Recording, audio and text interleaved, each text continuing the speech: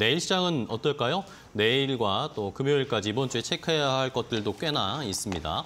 자, 내일장 미리 보기로 준비해 볼 텐데요. 메리츠증권 강남금융센터의 정여운 과장과 이야기 나누겠습니다. 안녕하세요, 과장님. 네, 안녕하세요. 네, 반갑습니다. 자, 오늘 시장 일단은 뭐 혼조세의 모습이었는데 네. 분위기가 온도차가 좀 다릅니다. 코스피, 코스닥. 오늘 어떻게 보셨고 내일은 저희가 뭘 좀 대비해야 되나요?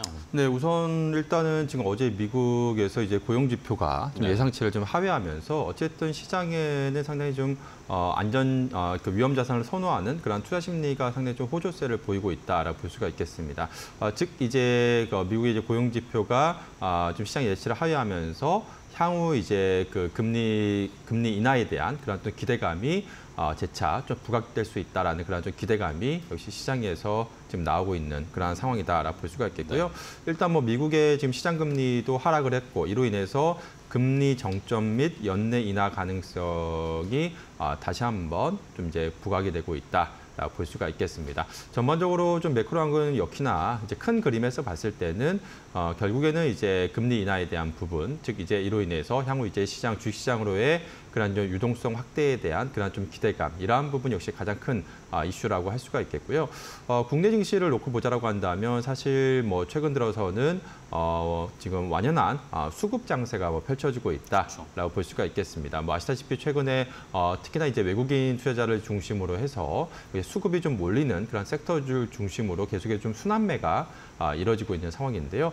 어, 뭐 아시다시피 정부 정책에 대한 좀 기대감에 힘입어서 연초부터 이러한 어, 저 PBR주, 즉 정부의 이제 밸류업 프로그램 아, 그런 좀 기대감에 힘입어서 외국인 투자자 중심으로 해서 이러한 저 PBR 중심으로 최근에 수급이 좀 유입이 됐다라고 한다면 어, 오늘 같은 경우에는 또 이제 2차 전지 쪽으로 또 수급이 좀 집중되는 좀 흐름이 좀 나왔습니다. 오늘 같은 경우에는 역시나 지금 어, 현재 어, 그런 배터리 그 국내 최대 배터리 박람회가 현재 지금 코엑스에서 지금 어, 개최가 되고 있는 상황인데 어, 여기에서 지금 관련 이제 기업들이 이제 미래 이제 사업 계획이라든지 어, 그러한 부분 또 이제 향후 이러한 전고체 배터리 라든지 이러한 신사업에 대한 좀 어, 기대감 이러한 부분이 재차 좀 부각이 되면서 오늘도 시총 상위 종목 중에서 뚜렷하게 상승하는 종목을 어, 사실 뭐 LG 에너지 솔루션이라든지 삼성 SDI 이러한 아, 2차 전지 대형주 외에는 사실 뭐 뚜렷하게 아, 상승하는 종목은 없다라고 볼 수가 있겠습니다. 그래서 오늘 2차 전지를 제외하면 사실상 뭐 체감 지수는 뭐 좋지 못한 아, 그러한 상황인데요.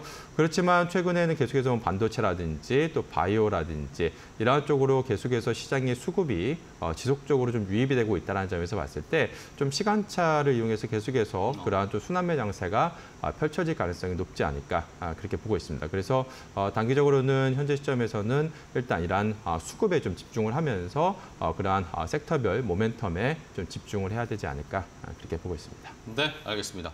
자, 이렇게 일단은 뭐 말씀해 주신 것처럼 오늘은 또 2차 전지 쪽에 수급이 몰리면서 일단은 계속 좀 돌아가면서 관심이 받, 관심을 받고 주가가 올라가고 이런 모습이 나타나고 있습니다. 그러면서 또 반대편에는 그렇다고 또 많이 떨어지진 않을 것 같다라는 시장의 심리도 어느 정도는 좀 받쳐주고 있는 것 같아요. 자, 그러면은 이제 내일 시장에서는 어, 여러 가지 뭐 말씀해 주셨지만 업종이나 섹터 어떤 걸 고르면서 또 순환매 차례를 기다려야 될까요? 네, 최근에 앞서 말씀드린 섹터 중에서 최근에 또 주목받고 있는 섹터, 그러니까 작년에 상당히 좀 시장에서 철저하게 좀 소외를 받았다가 작년 하반기 이후부터, 작년 연말 이후부터 다시 한번 점진적으로 좀 투자 심리가 좀 개선이 되고 있는 제약바이오 섹터를 어, 계속해서 좀 주목을 해봐야 되지 않을까 싶습니다. 아, 또한 앞서 말씀드린 것처럼 큰 매크로 환경, 즉 이제 어, 그러한 금리 인하 가능성이 좀 높아진다라고 한다면 네. 가장 또 어, 주목받는 그렇죠. 섹터 중에 하나가 바로 제약바이오 섹터이기 때문에 어, 제약 바이오 섹터 최근에 이제 상- 투자 심리가 좀 개선되고 있다는 점에 어, 주목을 해야 될 것 같고요. 뭐 아시다시피 최근에 뭐 레고캠 바이오라든지 이러한 어, 제약 바이오 섹터 상당히 좀 주목을 받고 있는 어, 그러한 상황인데요. 어, 지금 뭐 R&D 이벤트라든지 또 학회 발표 이벤트 이러한 이벤트가 지금 어, 계속해서 있을 때마다 상당히 좀 주목받 고 있다는 점에서 어, 당분간 제약바이오 섹터는 지속적으로 시장에서 좀 주목받을 가능성이 높지 않을까 네네. 아, 그렇게 보고 있습니다. 특히나 지금 글로벌 지금 빅파마들이 지금 파이프라인 투자 계획 을 계속해서 좀 발표를 하고 있는 그러한 상황이기 때문에 긍정적인 투자 심리가 당분간 아, 이어질 가능성이 높지 않을까 아, 그렇게 보고 있고요. 어, 그 중에서 일단 어, 바이오 섹터 제약 바이오 섹터 내에서 이제 2분기 이후에 임상 발표라든지 뭐 FDA 신약 허가라든지 기술 이전 이러한 어, 이벤트들이 좀 대기하고 있는 네. 그러한 또 기업들을 중심으로 해서 어, 주목을 해보면 좋지 않을까 그렇게 보고 있습니다. 네, 좋습니다. 제약 바이오주들, 뭐 모멘텀 있는 종목들 그리고 또 아마케 뭐 관련 연관된 모멘텀 있는 종목들 움직이기 시작하고 있어요. 계속해서 좀 잘 살펴보시면서 골라내셔야 되겠습니다. 제약바이오 한번 집중을 해보겠고 자 그럼 이제 마지막입니다. 내일 시초가에 시작할 때 공략해 볼 만한 종목도 제약바이오로 골라볼까요? 네, 제약바이오 업종 내에서 올해 하반기 상당히 좀 기대가 되는 좀 주목받고 네. 있는 어, 기업 중에서 유한양행을 유한양행. 음. 어, 주목을 해보면 좋지 않을까 싶습니다. 어, 유한양행 같은 경우 아시다시피 지금 현재 글로벌 신약 허가가 지금 가시화되고 있는 그쵸. 어, 그러한 상황인데요. 어, 지금 렉라자와 리 리브리반트 병용요법에 대한 지금 우선 심사 아, 지금 신청을 허가 신청을 이제 작년에 연말에 이미 한 상황이고 지금 이제 심사 그 지금 어, 통, 허가를 지금 대기하고 있는 그런 좀 상황이다라고 볼 수가 있겠습니다. 시장에서는 늦어도 8월 정도에는 이제 허가가 날 것으로 그렇게 지금 어, 예상이 되고 있는 그런 상황인데요. 어, 만일에 연내에 이제 허가가 나서 시장에서 출시가 된다라고 한다면 어, 이제 미국 시장에서 본격적으로 출시가 되면서 어, milestone이 본격적으로 좀 유입이 될 것으로 4분기 정도부터는 유입이 될 것으로 기대가 되고 있고 이와 함께 시장 점유율 확대에 대한 또 기대감도 어, 높아질 것으로 그렇게 지금 보여주고 있습니다. 그래서 어, 지금 현재 시점에서 만약에 milestone이 이제 올해 하반기부터 유입이 된다라고 한다면 어, 이제 4분기 이후부터 어, 본격적인 이런 실적 개선세가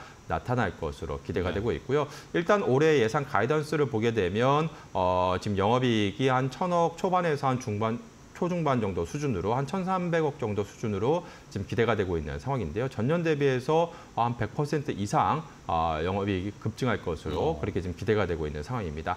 어, 이러한 실적 모멘텀과 더불어서 하반기 이러한 어, 좀 FDA 그 허가에 대한 좀 기대감이 어, 계속해서 이어질 수 있다는 점에서 어, 2분기에 상당히 좀 주목해야 될 그러한 좀 어, 종목이 아닐까 아, 그렇게 보고 있습니다. 네, 좋습니다. 유한양행 어, 골라주셨는데 뭐저 요즘에 유한양행 이야기 많이 나옵니다.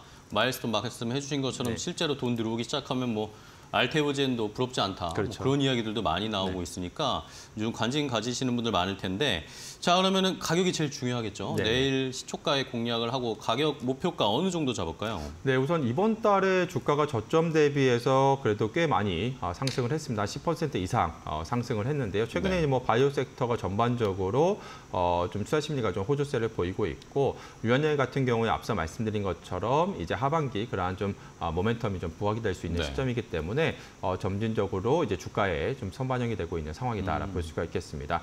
어, 특히나 이제 어제와 또 이- 그제 이제 이틀 동안 주가가 이제 상승세를 보이다가 오늘 좀 네, 주가가 좀 소폭 쉬네요. 조정을 음. 보이면서 마감을 했는데요.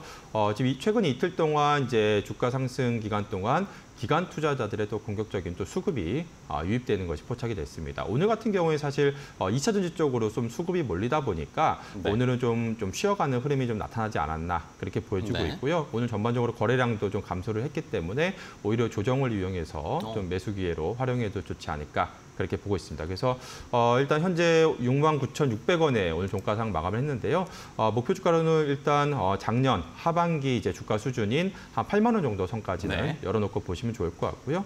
마지막으로 손절 라인으로는 한 6만 4천 원 선으로 제시해 드리도록 하겠습니다. 네, 알겠습니다. 1차 목표가 8만 원 보고 또 계속해서 나오는 모멘텀들 하반기까지 체크하면서 끌고 가는 전략을 잘 세우셔야 되겠습니다. 자, 오늘 정영훈 과장과 함께 내일장 준비해봤는데요. 오늘도 좋은 전략, 종목까지 알려주셔서 감사하고 다음 시간에 또 뵙겠습니다. 과장님 고생 많으셨습니다. 네, 고맙습니다. 고맙습니다.